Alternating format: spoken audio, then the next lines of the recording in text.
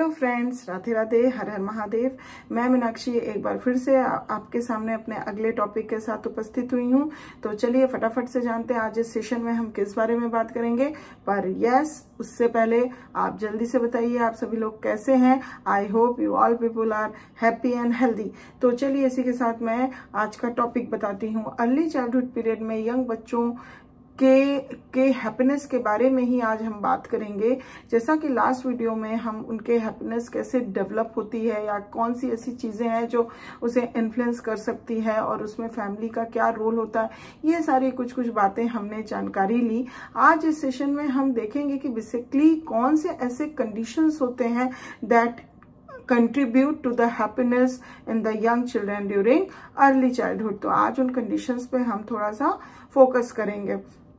जो कि मैं समझ सकती हूँ कि आपके लिए काफ़ी इन्फॉर्मेटिव होगी। तो इसीलिए मैं चाहती हूँ I hope that you you will be in the session till the end और अगर अभी तक चैनल को सब्सक्राइब नहीं किया है तो प्लीज़ जल्दी से सब्सक्राइब करिए। दैट हमारा ये जो कॉन्टेक्ट है, बना रहे और आपको यूँ ही अच्छी जानकारियाँ मिलती रहे। तो चलिए इसी के साथ सेशन को स्टार्ट करते हैं।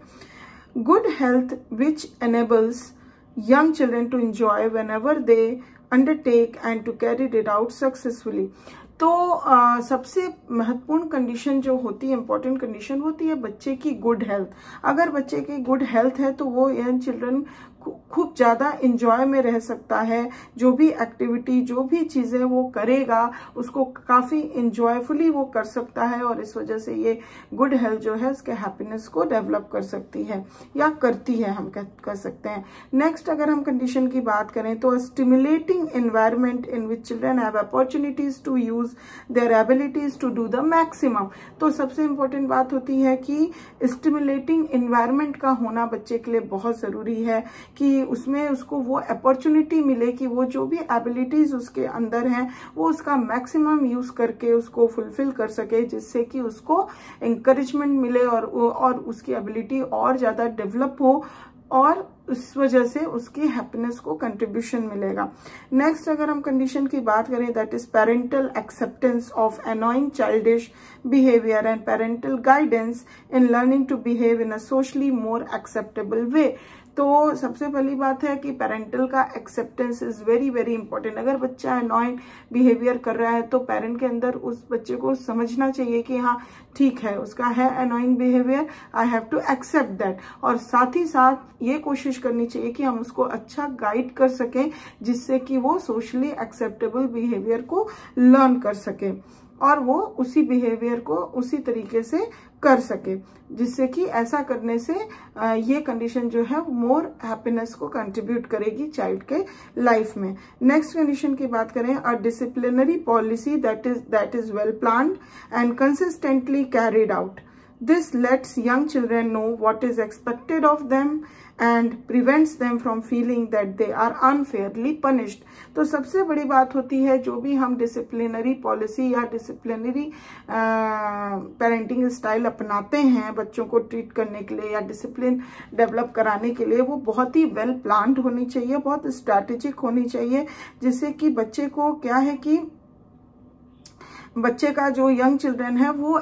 वो ये एक्सेप्ट कर सके और ये वो जान सके कि हाँ अगर ये चीज़ की जा रही है, ये रूल बताया जा रहा है तो there is certain basic conditions behind that वो उस चीज़ को समझ सके और उसके अंदर ये फीलिंग ना डेवलप हो कि हम जब देखो तब अनफेयरली पनिश्ड होते हैं। तो एक वेल प्लान डिसिप्लिनरी पॉलिसी को रखना बहुत ज़रूरी होता है बच्चे के जीवन में हैप्पीनेस को कंट्रीब्यूट करने के लिए। Next condition is developmentally appropriate expression of affection such as showing pride in young children's achievements and spending more time with them doing things they want to do. तो डेवलपमेंटली अप्रोप्रिएट एक्सप्रेशंस देना बहुत ज़रूरी होता है जैसे कि अगर हम बच्चा कोई अचीवमेंट कर रहा है तो उस पर प्राउड फील करना। बच्चे को ये लगे कि हाँ हम ये अचीव किए हैं तो my parents my other family members are very happy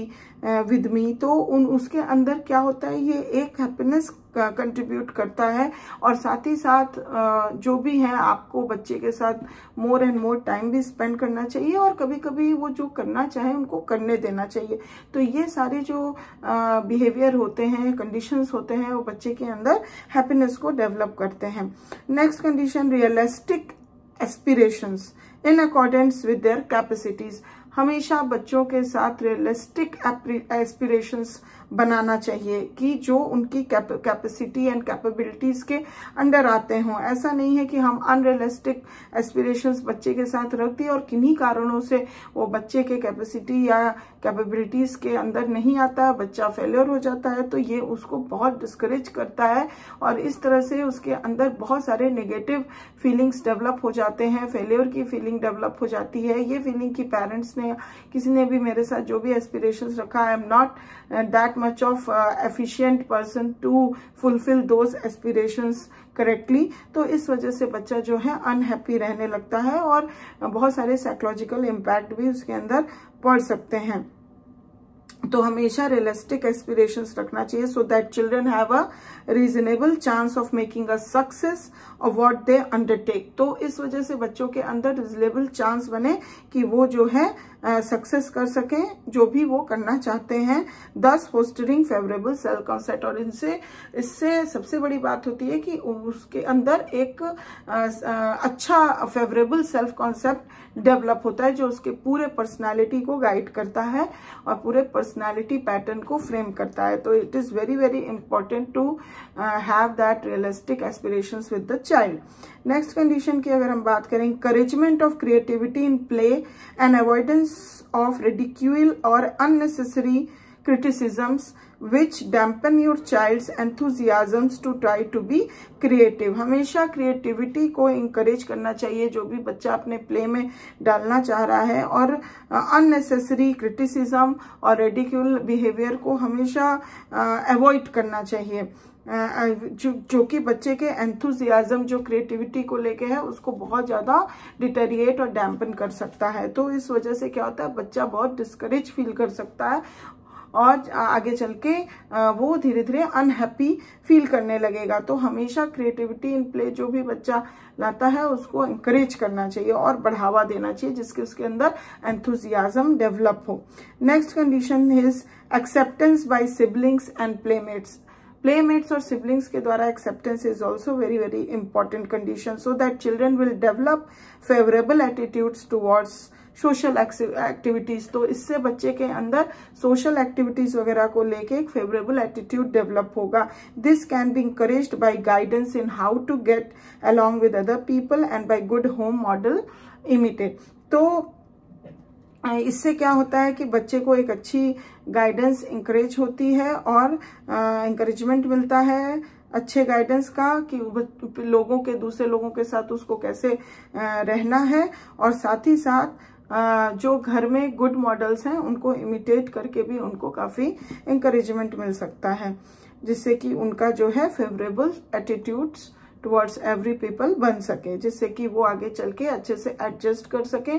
सभी के साथ, जिससे वो हैप्पी रह सके। Next condition is a prevailing atmosphere of cheerfulness and happiness in the home so that children will learn to make their contributions to maintaining this atmosphere घर में हमेशा ऐसे एटमोसफियर को रखना चाहिए चेयरफुलनेस और हैप्पीनेस वाला, जिससे कि बच्चा जब उसमें रहेगा तो वो सीखेगा कि कैसे हम खुश रह सकते हैं और उसमें वो उस उस तरह के एटमोसफियर को मेंटेन करने में अपना भी कंट्रीब्यूशन देगा। घर में अगर अच्छा माहौल नहीं रहेगा, लोग एक दूसरे से फाइट करते रहेंगे, एक दूसरे से अनहैप्पी रहेंगे, घर का माहौल एटमोसफियर अच्छा नहीं रहेगा तो अल्टीमेटली बच्चा ऐसे एटमोसफियर में खुश नहीं रह सकता और वो हैप्पीनेस को डेवलप नहीं कर सकता अपने अंदर। इसलिए atmosphere of cheerfulness and happiness को रखना is very very important next condition is achievements in activities important to the child and valued by the group with which the child identify तो सबसे बड़ी बात है कि अचीवमेंट जो भी वो एक्टिविटी करता है, उस एक्टिविटीज़ को चाहे बाहर के लोग हों या ग्रुप के लोग हों, उन एक्टिविटीज़ को मतलब इम्पोर्टेंस देना चाहिए, उस अचीवमेंट को इम्पोर्टेंस देना चाहिए जो बच्चा कह, कर रहा है, जिस एक्टिविटी को करके अचीव कर रहा है वो, उसको इम्पोर्टेंस वैल्यू देना चाहिए ग्रुप के द्वारा, जिससे कि बच्चे की एक अपनी आइडेंटिटी बन सके और उसको आइडेंटिफिकेशन हो सके कि हाँ मैंने ये अच्छा काम किया तो मुझे लोग आइडेंटिफाइड कर रहे हैं वैल्यू कर रहे हैं। तो इस वजह से उसके अंदर एक बहुत ही फेवरेबल एटीट्यूड डेवलप होता है और हैप्पीनेस को ये चीज़ें बहुत ज़्यादा कंट्रीब्यूशन देती हैं डेवलप होने के लिए, जिससे उसकी प्रेजेंट एंड फ्यूचर बहुत ही अच्छा हो हो जाता है, जिससे कि बच्चा अच्छे से पर्सनल और सोशल एनवायरनमेंट में एडजस्ट हो सकता है। तो ये there are these are the certain conditions which contribute to the happiness in the early childhood period in the young children so so, हमें इन चीज़ों का as a parents as a peer group as a other significant people हमको काफ़ी ध्यान रखना चाहिए uh, जिससे कि बच्चे का प्रेजेंट और फ्यूचर हम बेहतर बना सकें और उनको सपोर्ट दे सकें। So I must think you get the good uh, information with this video. And if you like it please uh, give one like. And if uh, till now uh, if you haven't uh, subscribed my channel please subscribe it. And thanks for watching my video. Uh, i'll be there with in front of you with my next video with the great information. So till then take care. Good care of yourself. Bye bye